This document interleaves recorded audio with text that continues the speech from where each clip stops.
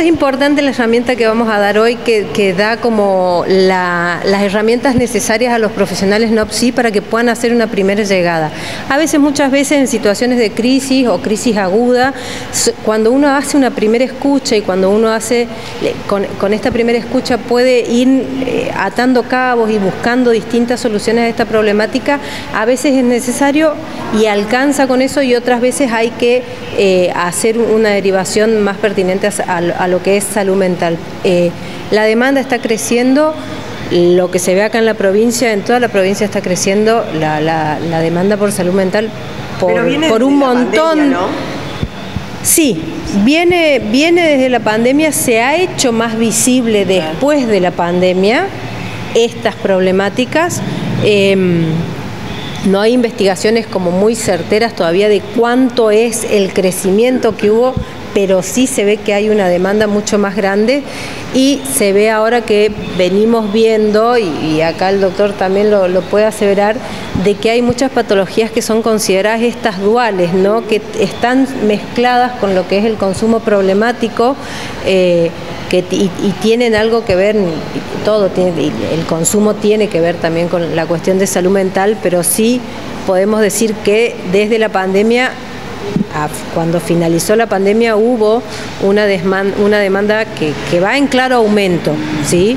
Estamos en aumento y va en claro aumento, entonces la idea es que todos los efectores que estén en una comunidad puedan dar respuesta. A esto, por ejemplo, apuntan los primeros auxilios psicológicos apuntados hacia la comunidad para que puedan dar esta primera respuesta y puedan acompañar a estas personas en crisis.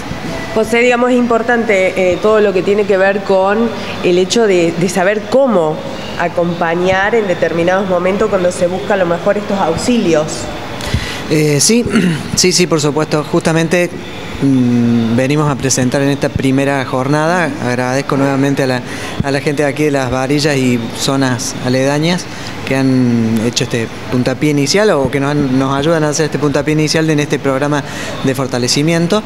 Es un compromiso de la Secretaría de Salud Mental. Eh, participar de, todo este tipo de, cuestiones y en esta oportunidad este, este MH Gap, que justamente esa, brecha Gap en inglés es la brecha, el segmento de la salud mental, digamos, que es el que intentamos mediante estas herramientas acercarnos un poco más y que no sea como dice Sofía solamente asunto de psicólogos psiquiatras sino que se, que la problemática es, es mucho más seguramente salpica mucho más a, otras a otras disciplinas ¿no? Eh, en este caso la, propuesta de acá de, las Varellas que nos habla de acompañantes terapéuticos, eh, otros agentes de salud, trabajadores sociales y muchos enfermeros que se, van a acercar a hacer la capacitación, bueno, habla de, justamente de eso. ¿no?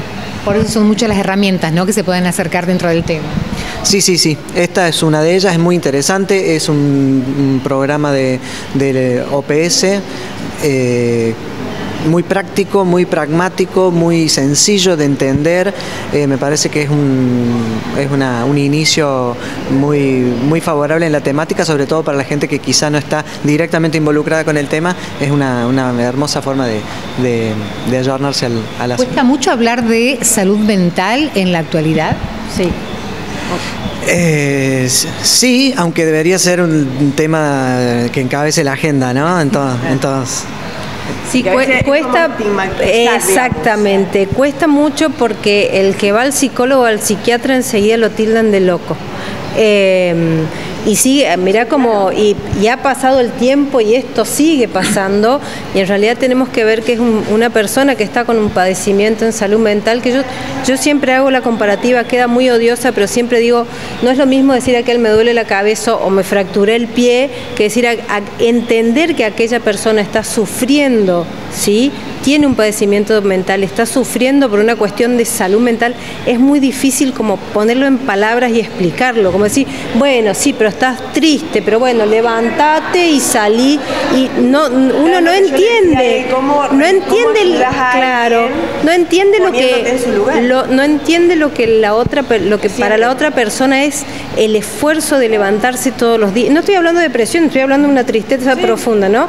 No entiende lo que es levantarse, todo lo que le cuesta levantarse, sacar la pata de la cama, hacer desayuno, irse a trabajar, que cuando uno dice está con dolor de cabeza o, está descompuesto, uno se pone en el lugar de otro y dice, sí, a mí me pasa lo mismo. Entonces cuesta mucho este ponerse en el lugar del otro y que no es tan fácil salir adelante. A veces sí, a veces no, dependiendo de la herramienta que tiene cada uno que adquirió a lo largo de su vida, pero depende de, muchas cosas y por eso que muchos hasta el mismo ciudadano común que puede dar una primera mano y puede dar un primer apoyo, decirle, bueno, te paso a buscar, date listo a las nueve, yo te paso a buscar, te llevo al trabajo, ayuda y ayuda en la salud mental del otro que se sienta acompañado y comprendido que esto le está costando a él en el diario.